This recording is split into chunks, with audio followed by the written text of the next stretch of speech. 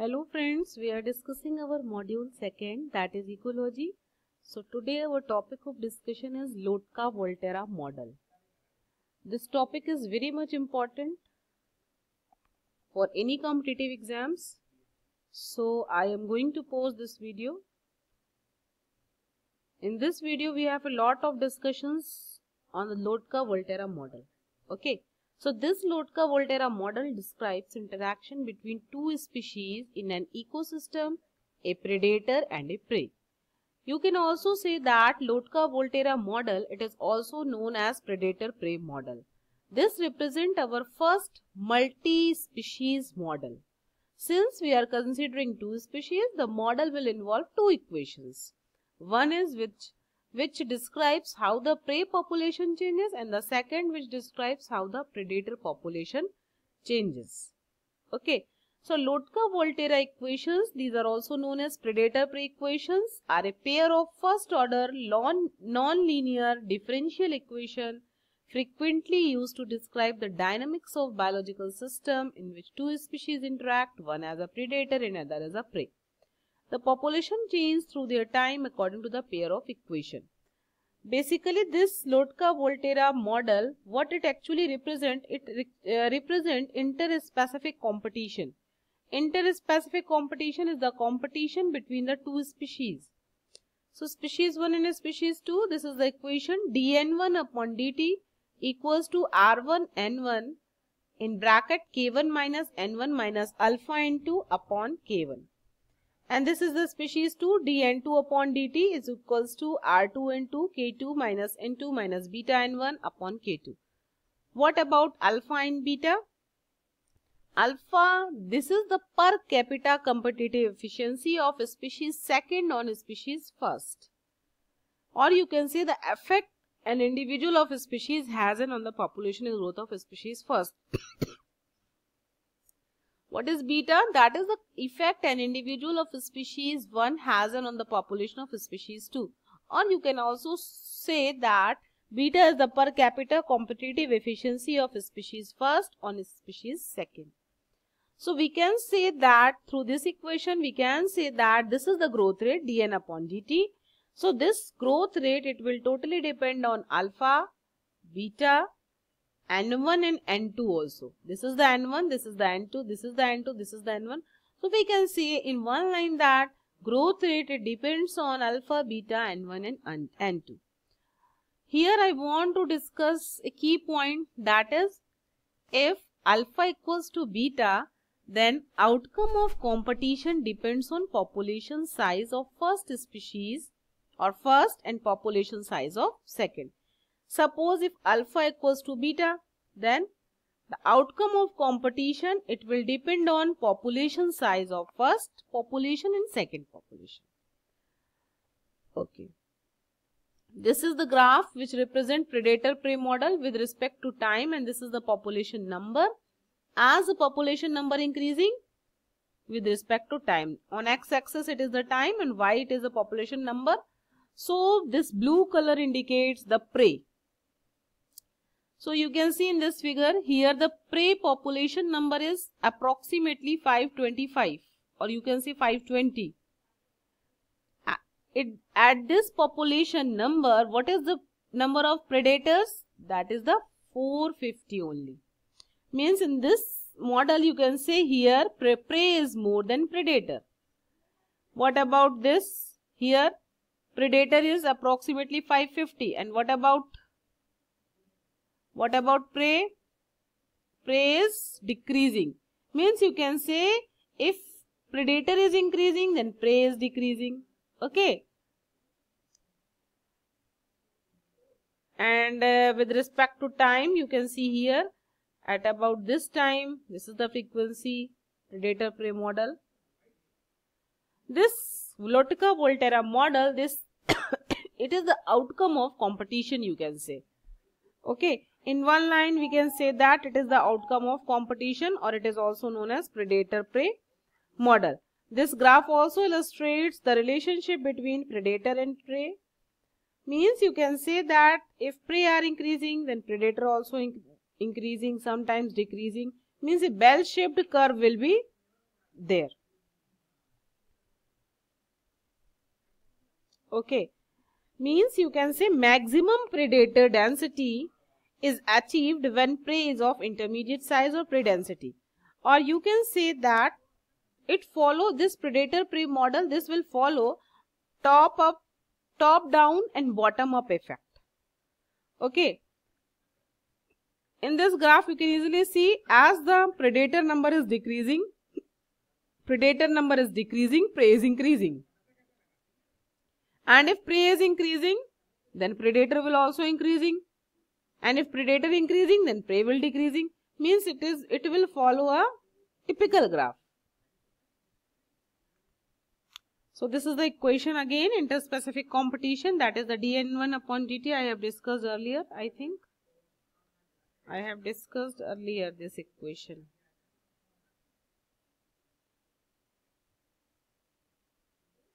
Okay.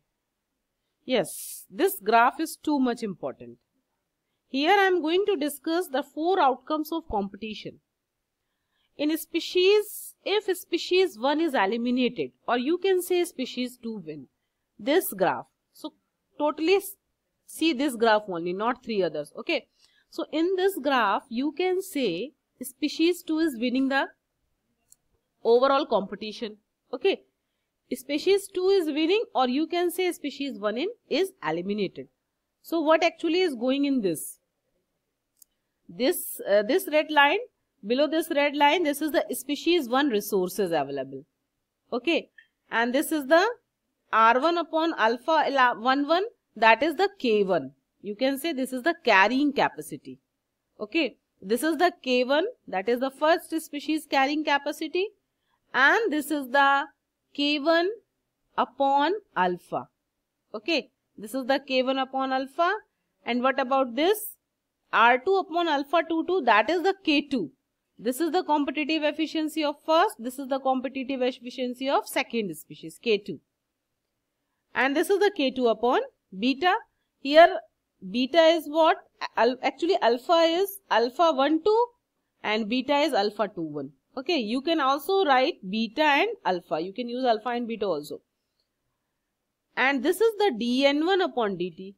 So, these are these three arrow indicates the different carrying capacity or you can say K2 that is the competitive efficiency of 2.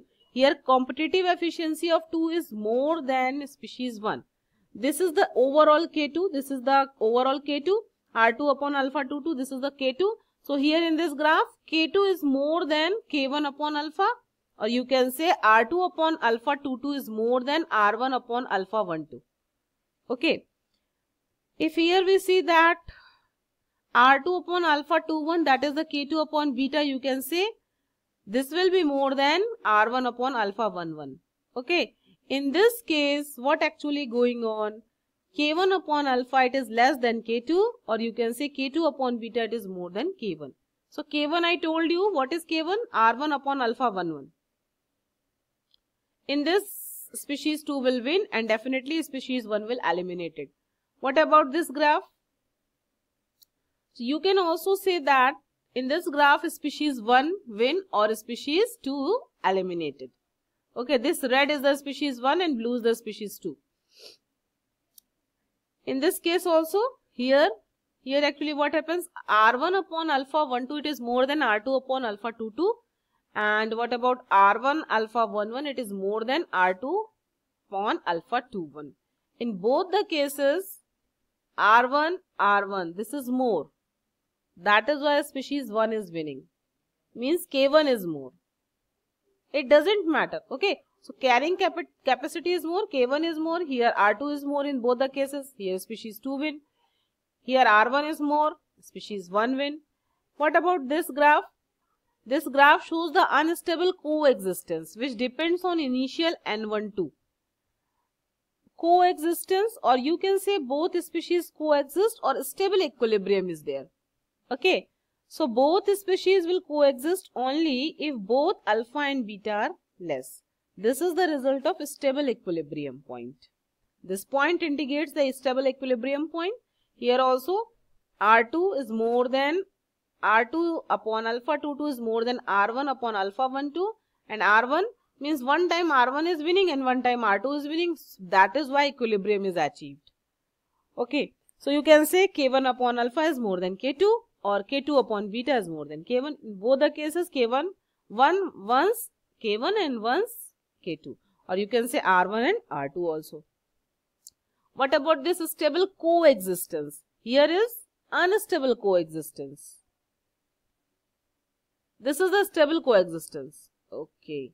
This is the stable coexistence and this is the unstable coexistence. So what actually difference between the two? Here is also one time R1 is winning and one time R2 is winning. Okay. I hope you all have understood. Through these graphs, what is the, what basically the actually the Lotka-Volterra model is. And another, uh, one more graph I want to represent but uh, it is skipped in this video. That is the either species 1 or 2 eliminated. Either or or. More competitive efficiency of species 1 and 2 so alpha and beta it may be equal. In that case competitive efficiency of both species alpha and beta both are same. Alpha will increase and beta will also increase. So one case I skipped in this video sorry for this. Later on i will i will uh, discuss this uh, graph which is uh, which i have skipped in this video. That is the case of either or. Either species 1 or species 2 eliminated. It is too easy. It means alpha and beta both are increasing and this is the unstable equilibrium you can say. Yes you can say this is the graph. This is the graph only. This is also the result of unstable uh, coexistence so in this case you can say easily you can say that this one is R2 is upon alpha 2 2 is more than R1 upon alpha 1 2 and R1 upon alpha 1 1 is more than R2 upon alpha 2 2.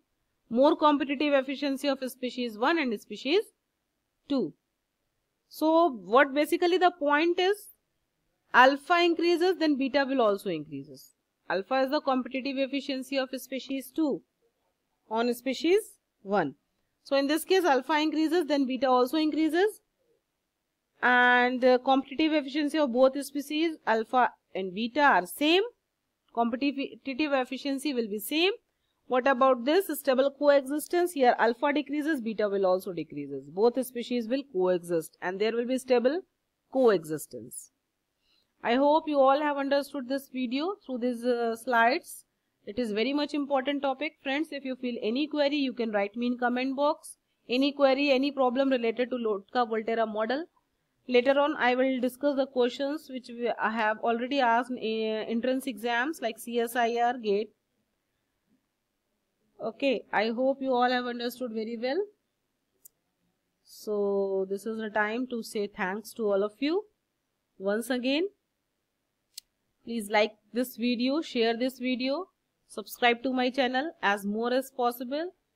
Thank you friends once again. Hope we will meet soon